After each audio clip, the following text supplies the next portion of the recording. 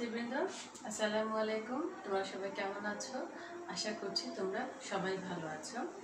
তো আমরা আমাদের আজকের ক্লাস শুরু করব। আমরা আমাদের হচ্ছে গিয়ে পড়ছি আমাদের প্রথম পত্রের যে শেষ অধ্যায়টি আছে সেটি, সামাজিক পরিবর্তন। এবং গত ক্লাস এগুলো কিন্তু আমরা আগে পড়েছি। গত ক্লাসে আমরা পড়েছি সামাজিক পরিবর্তনের কাল মার্কসের যে তত্ত্বটি আছে সেটি। আজকে আমরা আবার আবার রিভিশন করব। সেটা হচ্ছে সামাজিক পরিবর্তনে প্যারেটো তত্ত্ব।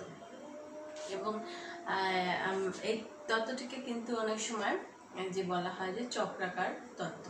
তার আগে যদি আমরা একটু রিভিউ করি যে আসলে সামাজিক পরিবর্তন কি? তো সামাজিক পরিবর্তন হচ্ছে কি এক ধরনের রূপান্তর, অর্থাৎ কিছু বিশেষ উপাদান বা বিশেষ কিছু হচ্ছে গিয়ে সেটা সামাজিক, অর্থনৈতিক, রাজনৈতিক, সাংস্কৃতিক সাংস্কৃতিক, সব ক্ষেত্রেই পরিবর্তনটা হয়। এবং এর পেছনে বিভিন্ন ধরনের উপাদান বা নিয়ামক কাজ করে। এবং এক্ষেত্রে কিন্তু সামাজিক পরিবর্তনের জন্য অনেক উপাদানই দায়ী থাকে। এক্ষেত্রে ক্ষেত্রে এক্ষেত্রে কিন্তু শিক্ষা, অর্থনৈতিক উন্নয়ন, রাজ, রাজনৈতিক অবস্থা। তারপর হচ্ছে গিয়ে মানুষের দৃষ্টিভঙ্গির পরিবর্তন, এই সব কিছুই কিন্তু হচ্ছে গিয়ে সামাজিক পরিবর্তনের ওপর নির্ভরশীল। এবং সামাজিক পরিবর্তন আমরা জানি দু প্রকার, একটা হচ্ছে গিয়ে পরিকল্পিত এবং অপরিকল্পিত। তো সামাজিক পরিবর্তন যে ধরনেরই হোক না কেন, এর কিন্তু সমাজের উপর একটা প্রভাব রয়েছে। এবং যে কোনো এক পাশের পরিবর্তন কিন্তু পুরো সমাজ কাঠামোতেই একটা হচ্ছে গিয়ে পরিবর্তন নিয়ে আসে। তো যাই হোক, সামাজিক পরিবর্তন সম্পর্কে কাল মার্কসের যে থিওরিটি ছিল, সেটি কিন্তু ছিল রৈখিক। হুম, কিন্তু প্যারেটো যে থিওরিটা দিয়েছেন, সেটাকে বলা হয় হচ্ছে গিয়ে সামাজিক পরিবর্তনের চক্রাকার মতবাদ। এবং এক্ষেত্রে আসলে প্যারেটো তার যে সামাজিক পরিবর্তনের তত্ত্বটি আলোচনা করতে গিয়ে উনি কিছু রাজনৈতিক প্রত্যয়কে এখানে ব্যবহার করেছেন।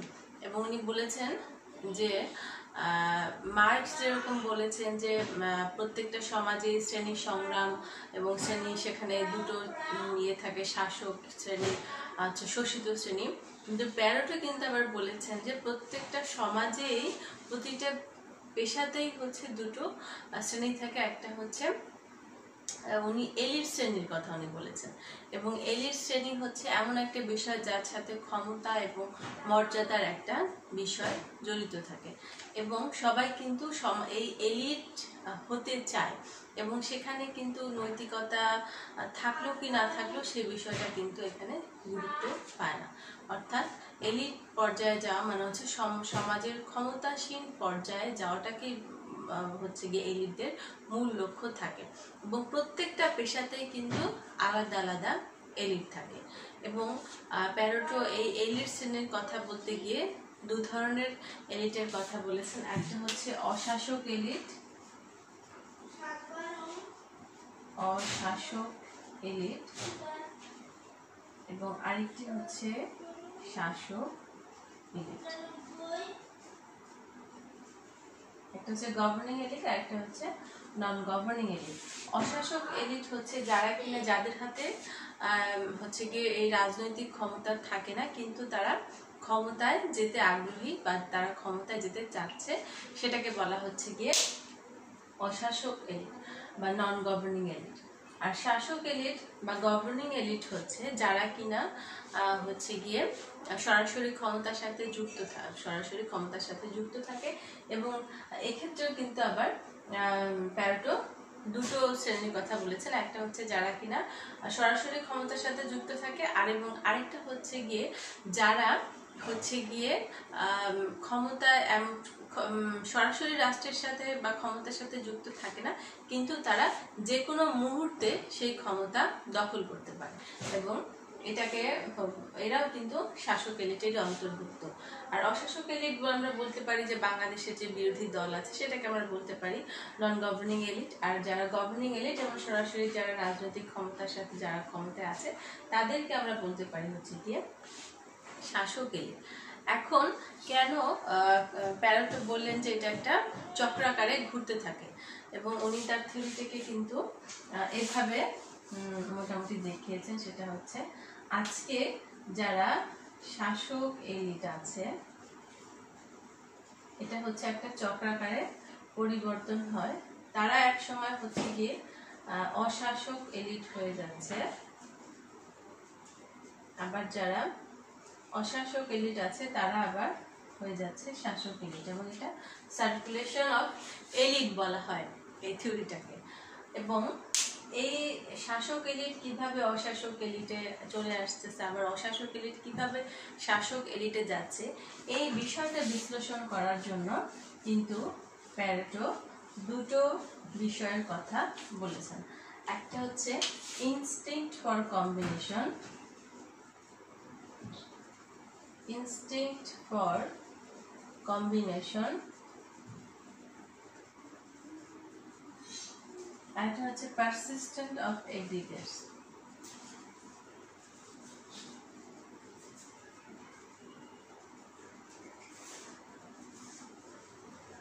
এখন এই what is instinct for combination instinct for combination বলতে এখানে বোঝানো আছে যারা কিনা পরিবর্তনে আগ্রহী।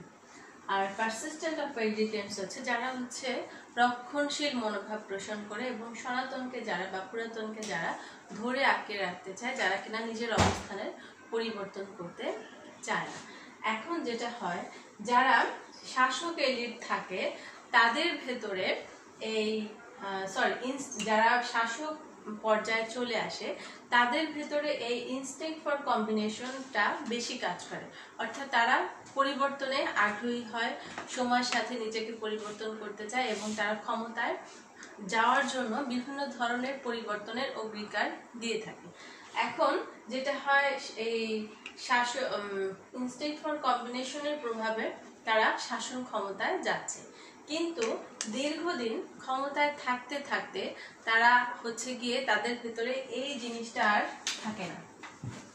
তাদের ভেতরে পারসিস্টেন্ট অফ এগ্রিগেটস এটা হচ্ছে গিয়ে কাজ করে। অর্থাৎ তখন তারা নিজেদের ক্ষমতা আঁকড়ে ধরে রাখার জন্য রক্ষণশীল মনোভাব পোষণ করে এবং তারা হচ্ছে আর পরিবর্তনে আগ্রহী হয় না।